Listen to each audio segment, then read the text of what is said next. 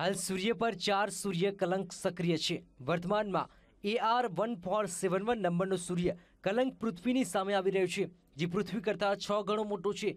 છેલ્લા કેટલાક સમયથી આ સૂર્ય કલંકની સક્રિયતા વધી છે, જેના કારણે આજે પૃથ્વી પર ચુંબકીય તોફાન ત્રાટકી શકે છે. ખાસ કરીને ધ્રુવીય ક્ષેત્રોમાં આ ચુંબકીય તોફાનની અસર વધુ થશે. જ્વાળાઓ પૃથ્વીની સાથે બુધ, શુક્ર અને મંગળ જેવા ગ્રહો, કેપ્લર, સ્પિત્ઝર અને સ્ટીરિયો જેવા ઉપગ્રહો તેમજ ટેલિસ્કોપને અસર કરી શકે તેવી સંભાવના વ્યક્ત કરવામાં આવી રહી છે. સાતમી જુલાઈ, એટલે કે પરમ દિવસની વાત કરીએ, તો સાતમી મેના રોજ એમાં એ આર ચૌદસો એકોતેરમાંથી એક એમ ફ્લેશ નીકળી છે.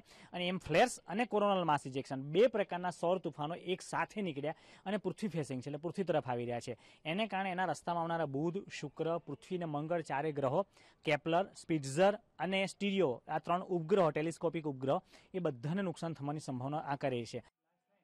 આ તોફાનને પગલે પૃથ્વી પરનું રેડિયો કમ્યુનિકેશન ઠપ થઈ શકે છે.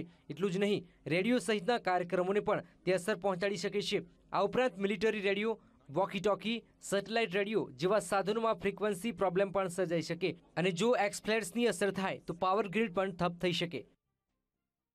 એ આર ચૌદસો ને છોતેર, કે જે પૃથ્વીથી છ ગણું મોટું સૂર્યકલાકોનું ગ્રુપ છે, એ ચાલી રહ્યું છે. એને પસાર થતાં લગભગ દસથી બાર દિવસ સૂર્યની ઉપર લાગશે. અને એમાંથી નેવું પંચોતેર ટકા સંભાવના એમ ફ્લેર્સની છે અને દસ ટકા સંભાવના સૌથી ઘાતક એક્સ ફ્લેર્સની છે. જો એમ ફ્લેર્સ કે એક્સ ફ્લેર્સ નીકળી આવતા દસ દિવસની અંદર, તો પૃથ્વી પર એમ ફ્લેર્સથી તો રેડિયો બ્લોકઆઉટ સુધીનું નુકસાન અને એક્સ ફ્લેરથી બહુ જ ઘાતક નુકસાન થવાની સંભાવનાઓ રહેલી હોય છે. બે હજાર તેર, બે હજાર ચૌદ અને બે હજાર પંદરની સાલમાં સૂર્યકલંકનો ખતરો વધી શકે છે. આ ખતરાને ટાળવા માટે છેલ્લા ચાર મહિનાથી અખિલ વિશ્વ ગાયત્રી પરિવાર દ્વારા સૂર્ય સાધના કરવામાં આવી રહી છે, જેના સારા પરિણામ મળ્યા હોવાનું માનવામાં આવે છે. રોહિત ચાવડા વીટીવી વડોદરા.